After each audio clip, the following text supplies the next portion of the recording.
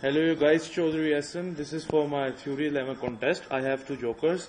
One in deck it is black and white and one is colorful.